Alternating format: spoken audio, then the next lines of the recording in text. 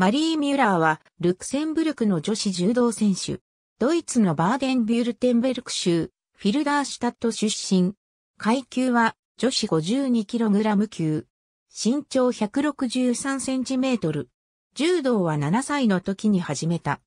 最初はドイツの 48kg 級の選手としてヨーロッパ U23 柔道選手権大会で3位に入るなど活躍していたが、2005年からは階級を 52kg 級に上げた。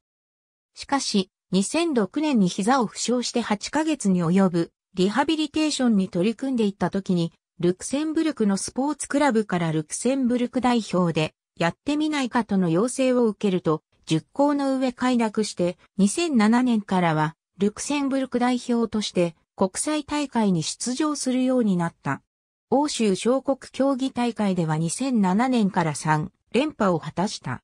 2008年の北京オリンピックでは、アイフの推薦で出場すると、初戦でアルジェリアのソラヤハなどに合わせ技で敗れるなどして9位にとどまった。2010年にはグランドスラムリオデジャネイロで決勝まで進む検討を見せるが中村美里に合わせ技で敗れた。また、世界選手権では3回戦で西田優香と対戦して GS までも連れ込んだものの、コーチ狩りで有効を取られて敗れた。2011年の世界選手権では2回戦で西田に1本背負い投げで敗れた。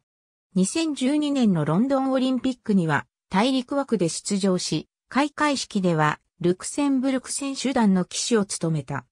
試合では準々決勝でヤネトベルモイに指導2で敗れると、その後の3位決定戦でもイタリアのロサルバ・フォルチニティに0から3の判定で敗れて5位に終わり、惜しくもメダルを獲得することができずに終わった。ルクセンブルク軍から給料を得ていたが、普段のトレーニングは、ルクセンブルクでなく、シュトゥットガルト近郊のエスリンゲンで行っていた。48kg 級での戦績 52kg 級での戦績。ありがとうございます。